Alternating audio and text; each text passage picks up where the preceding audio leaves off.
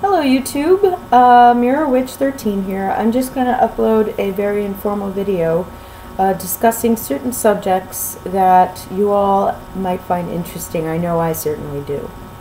Um, one of the subjects uh, that I feel is very pertinent to my YouTube channel is the subject of what happens after death. Now, there are many different theories as to what happens after death, but most of them seem to follow a very similar strain. Um, you can research near death experiences, and a lot of them are very similar.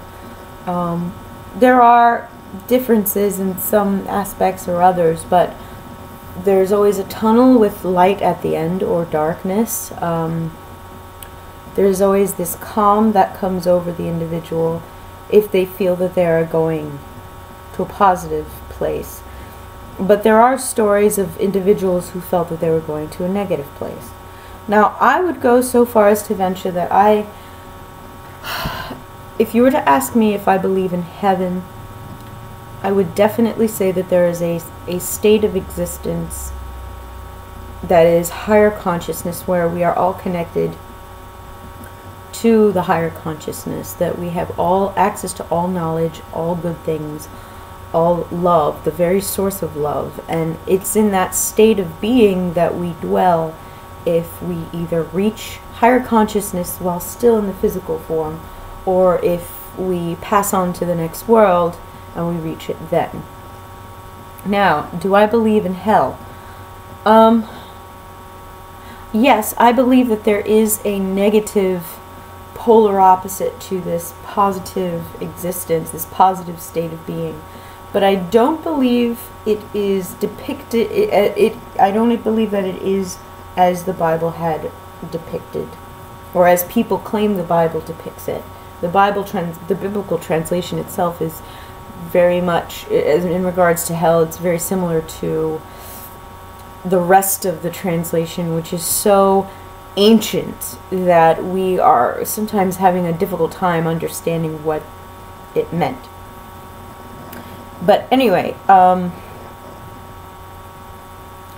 I was I was meditating about this um, for the past few years, and I've reached a peace and a conclusion in my mind and heart that you don't necessarily have to agree with, but I believe that it is an accurate depiction of what happens after death. I believe in hell, but I don't believe hell is an actual place. Like a positive state of being, of reaching higher consciousness, and being connected to the source of love and connected to all good things, there is also a negative state of being where you are disconnected to all good things.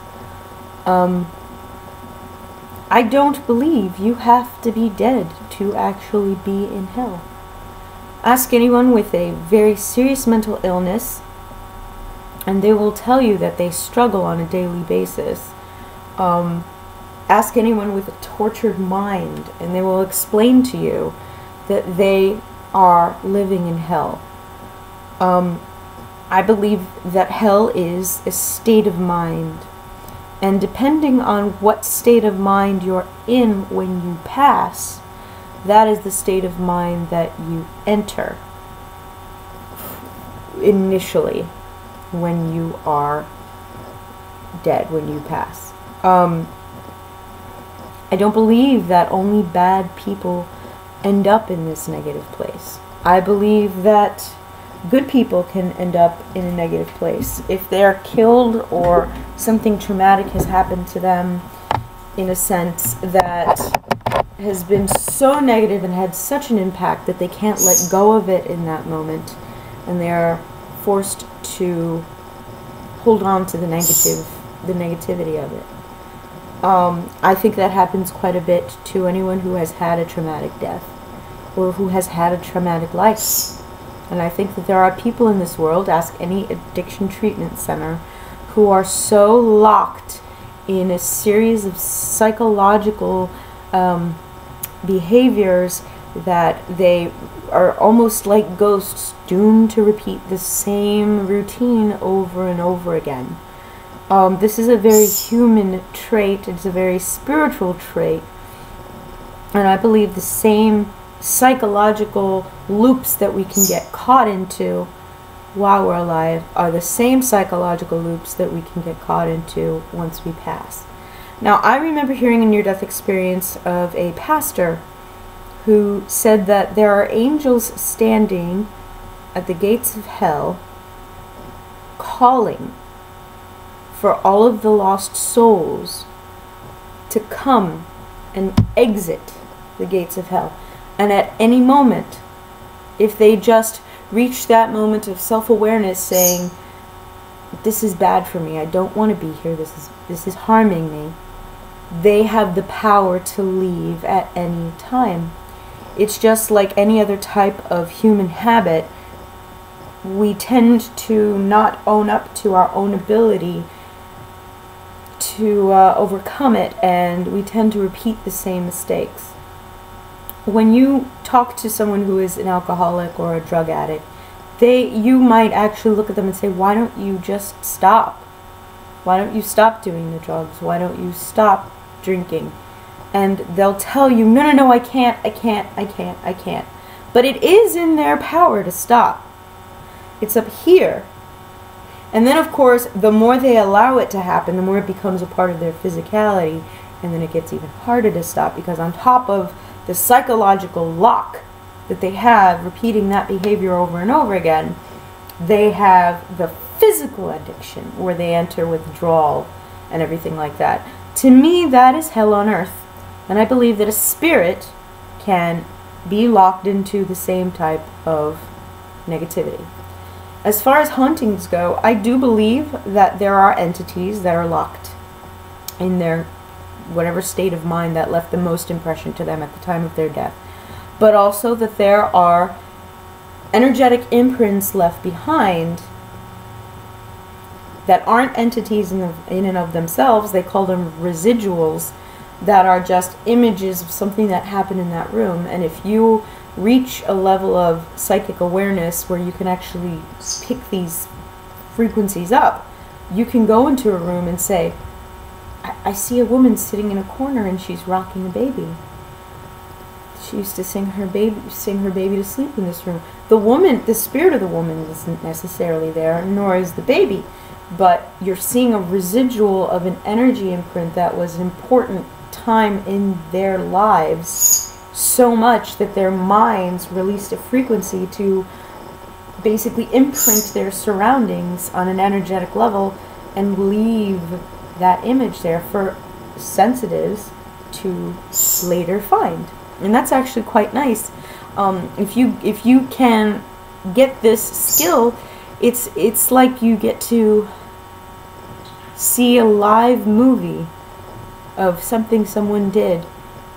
Um, as I learned how to do this, I would go into an antique shop and I'd close my eyes and I'd, I'd touch a chair and I would see an old woman sitting on the chair stroking her cat. And uh, my mother also has this gift where she opened a jewelry box and suddenly this she saw this southern woman with blonde hair and she just saw what she looked like in her mind's eye. That's another type of fun haunting that are generally harmless. I mean, of course, there are negative imprints that are left behind, and if you are sensitive and faint of heart, you know, you might see something you don't necessarily want to see. But I would highly suggest working towards getting to that psychic level because it's very informative and it's it's very interesting. Okay, now um, touching back on heaven and hell, there was an interesting question that I read online recently where a young man asked, What do ghosts see? When he asked, What do ghosts see? I, that, that was an interesting question. If you were to have a conversation with a ghost right now and tell and ask them, please, please describe your environment. What, what's in front of you? What do you see? What would they tell you? My answer to that would be they would probably give you, it, you'd have to see it on a case by case basis.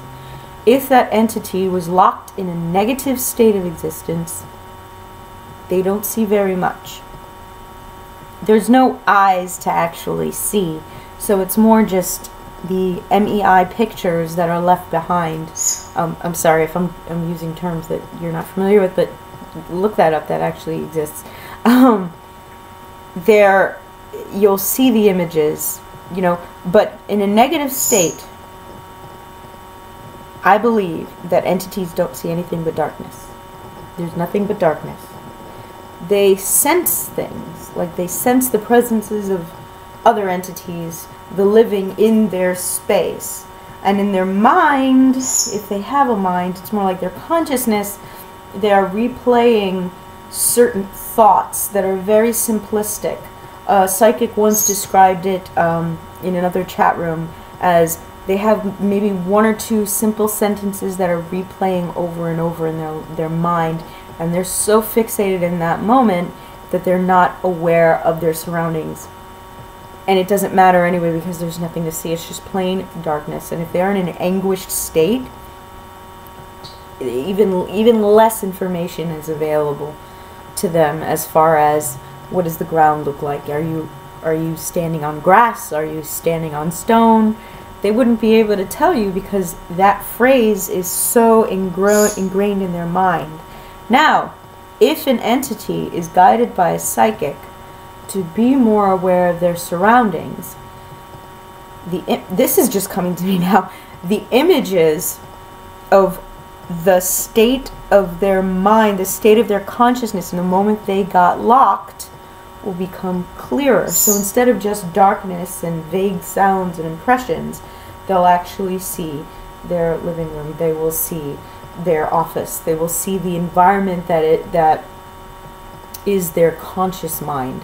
Very much like the movie um, Inception, when they had a mental projection of what exists. I say mental, but it's more spiritual than mental. But that's besides the point. This is all very abstract, vague, and difficult to prove. Now, in the spirit world, or is another film that I that I very much love, uh, calls it The Further. It's from Insidious. There's darkness, and then there's light. And depending on your state of being, things become clearer, things become more bright, more illuminated, so your awareness is lifted to a place where you can actually see where you are. Once you are in the full light, you're no longer in a negative state. You have now entered into the territory that some may call heaven or nirvana or what have you. Um, you've you've connected. You've reached the light. You've come to the light. And goodness knows what you see there. I mean, it might be a complete replica of your hometown, just brighter and sunnier and void of all negativity. It could be a fantasy world. You know, it could be the wood between the worlds, like um, in Chronicles of Narnia. Uh, call it whatever you wish, but it it is a positive state of being. The funny thing is that hell is not a, a place Heaven is not a place, it is a state of being.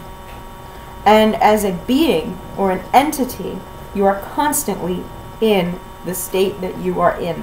When you're in the physical world, you can be happy and not think about the fact that you're happy because you're hungry or you have to go to the bathroom or oh you know gotta walk the dog now or you know stuff like that in that spirit state there is no other pressing engagement to distract you. There's no physicality, there's no anything. So you are alone with your consciousness until you decide to connect to the higher consciousness.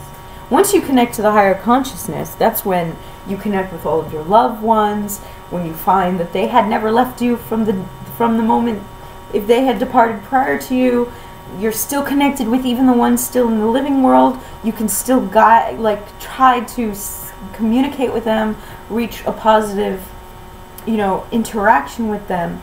But It's all a matter of the state of mind you are in when you are passing. And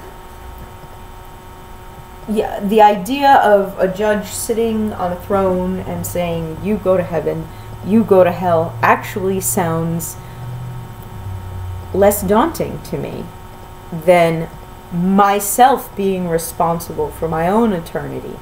And in a moment, it could change at any mo- uh, at any at any time. If I choose to go into the negative realms of the spirit world, I could go there and I could be lost for eternity. Or I could go there and be lost for a day. Or I could go there, decide not to stay there, and leave. But really, the control is up to you. Which, the more you think about it, the harder a lesson that is. You are your own jailer. You can set your free yourself free at any moment. The power is you. The power is yours. so that is that is the part one of the spirit world video. Hope you enjoy.